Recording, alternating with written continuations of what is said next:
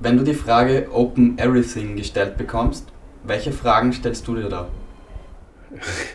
Äh, für alles offen und nicht ganz dicht Fragezeichen. Äh, was ist die äh, Folge, wenn alles offen ist, wenn überall Zugriff drauf ist und gibt es dann auch noch Privatsphäre, Geheimnisse ähm, und andererseits, was ist, aus, was, was ist Überwachung? Kann auch Open Office, Open Source, kann das auch Überwachung bedeuten und Open Seats, was sind das für Folgen? Kann Open Source Überwachung bedeuten? Ich denke schon. Äh, man kann alle Techniken, alle Geräte, äh, alle Dinge nutzen, um halt auch zu überwachen. Es ist immer die Frage, wie Techniken, wie gesellschaftliche Prozesse genutzt werden. Ob sie äh, emanzipatorisch genutzt werden oder ob sie halt ja, genutzt werden, um äh, Leute zu disziplinieren und Leute, Menschen ähm, ja, an der Selbstorganisation zu hindern. Was kann man dafür tun, damit dieses emanzipatorische Potenzial genutzt werden kann?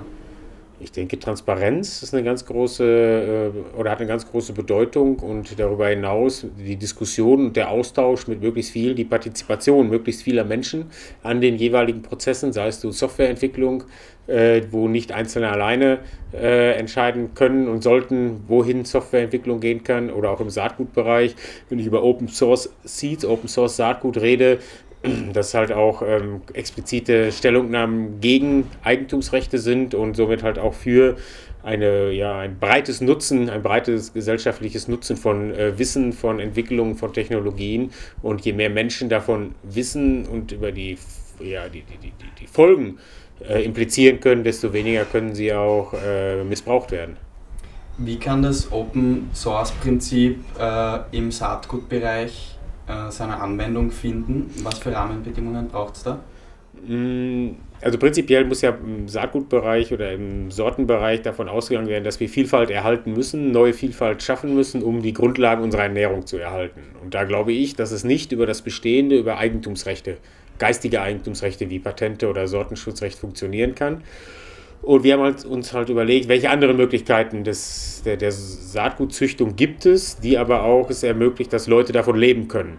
Äh, weil wir brauchen halt eine professionelle Züchtung. Und der erste Gedanke war, okay, es gibt das Open Source Prinzip im Softwarebereich, das kann man vielleicht übertragen auf den Saatgutbereich, wo dann eine Bedingung ist, dass jede neue Sorte, die gezüchtet wird unter diesem Prinzip, auch allen anderen zur Verfügung gestellt wird. Das heißt, nicht privatisiert wird, sondern allen zur Verfügung gestellt wird. Das Problem ist aber noch, dass natürlich äh, Landwirtschaft und Sortenzüchtung, Pflanzenzüchtung schon seit Jahrtausenden funktioniert. Und äh, wenn ich mir dort aus diesem genetischen Pool, der vorhanden ist, Sorten, Eigenschaften rauspicke, um neue Sorten zu züchten, auch wenn ich sie dann der Gesellschaft frei zur Verfügung stelle, bediene ich mich an etwas, was einer bestimmten Gesellschaft, einer Community gehört hat, sei es, sei es eine Gruppe von Landwirten etc.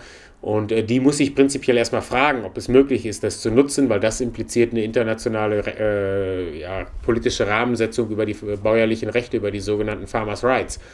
Und ähm, deswegen ist es schwierig, dieses Open Source Konzept eins zu eins aus dem Softwarebereich auf den Saatgutbereich zu übertragen, auch wenn wir das in unserem Paper, was wir letztes Jahr veröffentlicht haben, erstmal so als Frage aufgestellt haben.